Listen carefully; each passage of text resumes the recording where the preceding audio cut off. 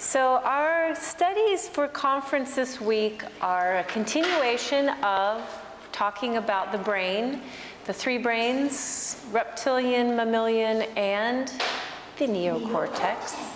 And all about really um, consumption, like what are we taking in, what are we consuming, and what we, who we hang out with, what we read, what we listen to, what we're doing and looking at um, our lives as sort of energy and, and doing energy financing and, and making some decisions and choices around that to have some good um, financial energy planning. Last week we talked about what we consume and how we sift through that. Each person's very individual to create like our actions and how we show up for life. So this week we're starting with a quote by this guy named Bob Marley. And he said, Emancipate yourself from mental slavery. No one else can free your mind. We all know that quote, right? So, back to what we are consuming in two areas that you guys you guys take care of every time you do yoga. One is your mental muscle. No one else can free your mind. It's all about the choices you make to control your own thinking. And then the second one is your, your physical body, right? We make decisions and do things like yoga, and we do a million chaturangas in Ashtanga so that we create a muscle memory. We create muscle and also muscle memory that allows us to freely and, and gracefully do chaturanga, right? So those two things are what we're constantly working on, and um, and a lot of times kind of making decisions around those unconsciously. So this is uh, a lot for us this week, and this study is about making decisions about how you will expend that, that energy. So if we think about I'm going to start with the physical aspect. If you think about muscle memory, what you've created muscle memory in, um, I, have oftentimes noticed that people are naturals at Ashtanga or yoga when they have done gymnastics or we say tumbling when they were younger, right?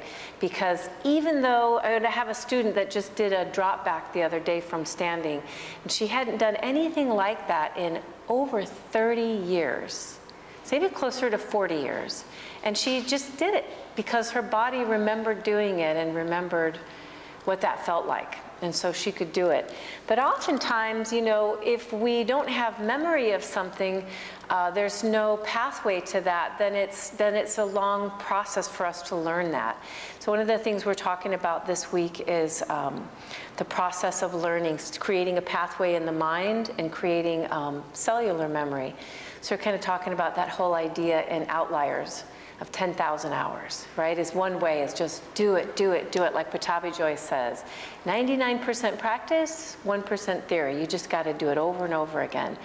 The example I used on Sunday was Bakasana B, which we don't actually do in this class, so I switched the example to be a handstand, because you guys do handstands in this class. Now, I could totally lose my microphone doing this. But if you didn't do gymnastics when you were younger, and I say, hey, Peter, do a handstand in the middle of the room, what happens? What happens when you don't have any muscle memory of doing a handstand in the middle of the room, you do this. It's what everybody does. What am I doing? yeah.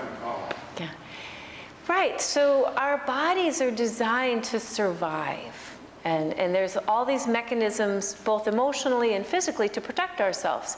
So if I don't have any muscle memory of doing a handstand in the middle of the room, to just randomly ask one of you to do that is it's almost impossible, you know, because we're designed not to. Right? We're designed to check, check, check all the systems are in place so that you don't.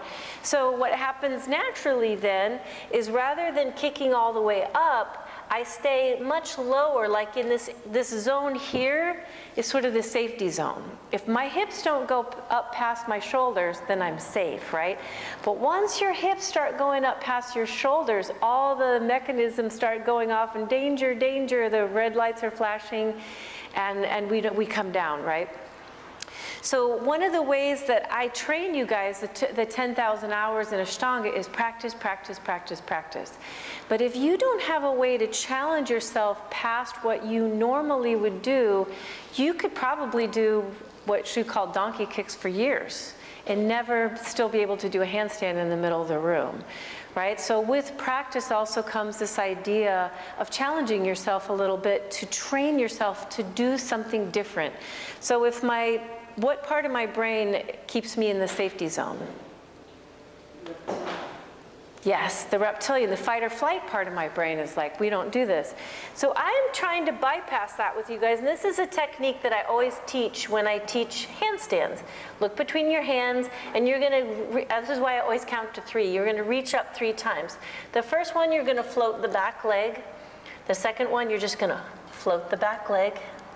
And on the third one, you may come up by reaching your second leg up rather than just hurling yourself over. Eventually, you'll be able to do that, right? If I overshoot it, I teach you guys to do a cartwheel on the side of the room. And this method teaches you to get your hips in a more safe way to start moving where they need to move, and we kind of break a pattern. We break a safety or a survival pattern that way. And the other day, she's not here today, but I had someone that's been doing that for a while, and I she was doing the hurling herself handstand, which wasn't working. And so I taught her this technique. And I would say a couple months later, for the first time, she just balanced in the middle of the room. She was so excited, you know? Have you guys ever had that experience before when you've tried something and you're like, I'm never going to be able to do this. I'm never going to be able to do this. And then one day you do it. And it, that's one of the beautiful things about yoga because we do that physically a lot of times in yoga. And what we realize is what we believed we couldn't do, if we just tried it and tried it and tried it and took a new technique that took a little courage and pushed ourselves a little bit, all of a sudden we were able to do something we never believed that we could do at some point you know? And that's and that's some of the beauty of what i'm talking about physiologically that also happens for us with our mental muscle as well. So and by the way i'm going to have you guys all start doing that technique for your handstands today. It's probably do one two three and don't even try to come up to the third one but on the third one if you overshoot it the cartwheel is really brilliant because it's basically about falling so once you guys can actually master falling, be comfortable falling, your body will know that it's going to survive. And someday you can do a handstand in the middle of the room. So I do handstand workshops, I call them falling workshops. So you have to master falling first. But there's a beautiful metaphor in that, you know. So let's switch over now to the mental muscle that we're always working on is controlling the mind and keeping the mind strong and where we want it. So there's something called neuroplasticity. We actually talk about that a lot here in um, our classes. And neuroplasticity has to do with what? How does that work? The mind is plastic. What is it? Yeah. So it has to do with the neural pathways, right? And, and where we send those neurons down. And what we understand now is so simple and yet so profound is that wherever I send my mind, if I do that habitually, like training my chaturangas, like doing the handstand every day, every day, 10,000 hours, whatever I'm thinking, thinking, thinking every day, I create a pathway like a, like a, a path through, you know, the forest. I create a pathway that I may have been thinking initially when, and I started to create that pathway, but if I think that long enough, long enough over and over, eventually it becomes part of the reptilian system, right? It's automatic. So uh, we can look at that in examples I've talked about in the last few weeks, like being worried or stressed all the time. You know, it's like if you're worried every day about this worried about this every day, worried about this every day, worried about this, that thing goes away, then you're worried about something else, you're worried about something else.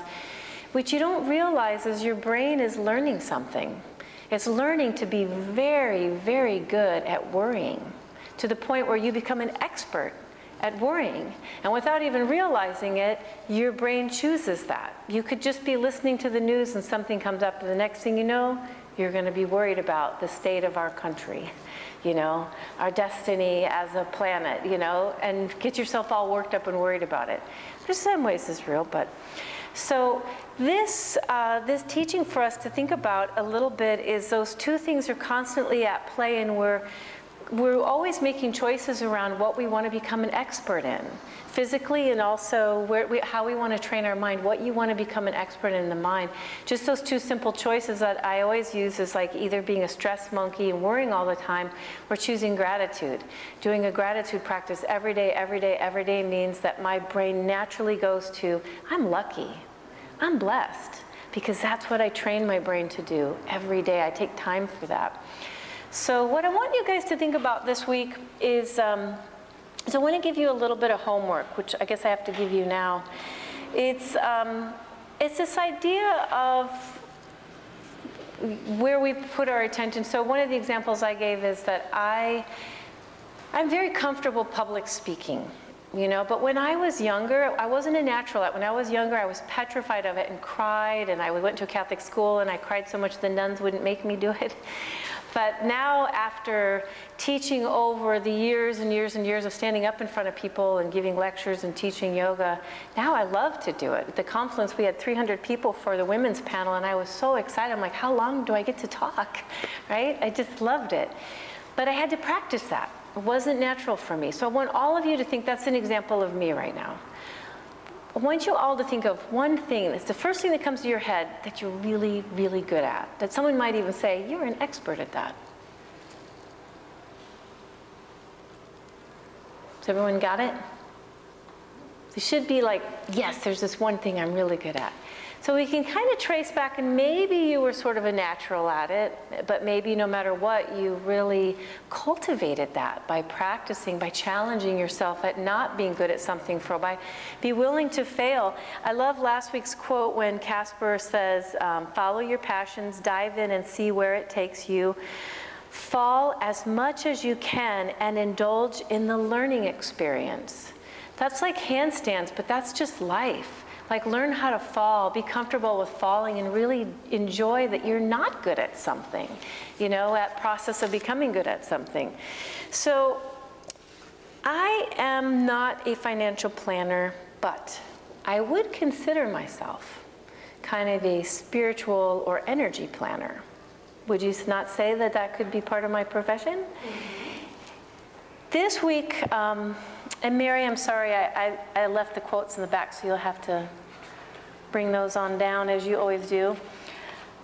If I could, if I had enough time this month, what I would love to do is have a private session with each one of you. And instead of planning out how you're going to spend your money, being a financial planner, what I would do is, is look at your life and look at how you spend all the energy in your life. What, what, how much time do you spend doing things and how much time do you spend thinking about things? And I would love to work out with each one of you to free up some energy that all of you have um, and to, to ask all of you to consider investing that in something new, something you haven't done before, something that you would like to be good at you know, to spend that, that I'm calling it $1,000. I'm giving all of you $1,000 of energy today.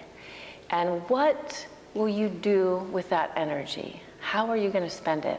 So I asked this question on Sunday, and one of my students, who most of you know, um, she's a beautiful um, yoga practitioner in her 70s, and May, in her life right now, um, has her husband who has a very serious um, illness, and at the same time, her son is graduating from medical school and also getting married.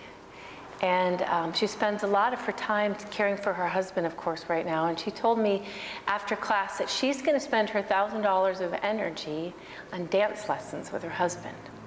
And she said because he's not well right now and on a lot of medications and stuff, she needs a dance instructor to come right to their house.